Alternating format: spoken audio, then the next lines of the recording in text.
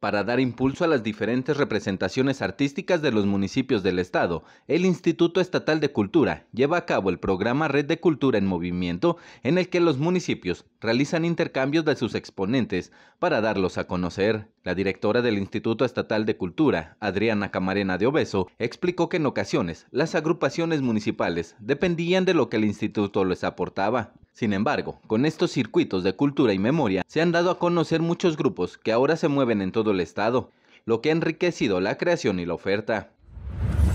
Nosotros hemos desarrollado un programa que justamente da en el clavo con lo que tú estás diciendo. Eh, se llama Red de Cultura y Memoria.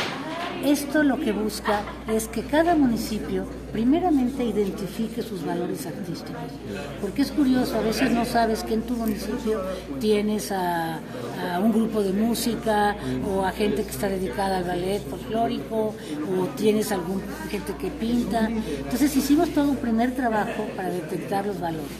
Y después de eso eh, hemos trabajado en crear circuitos, circuitos de intercambio que nos han funcionado muy bien. Ahorita están ya dando muchos frutos en que se reúnen varios municipios y se intercambian sus valores artísticos.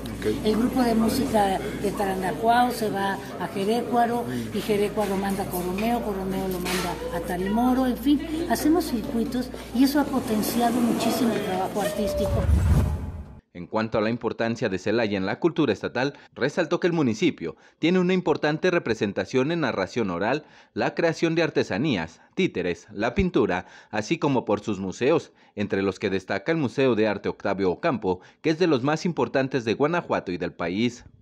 Para Noticieros Expresa TV, informó Roberto Lira.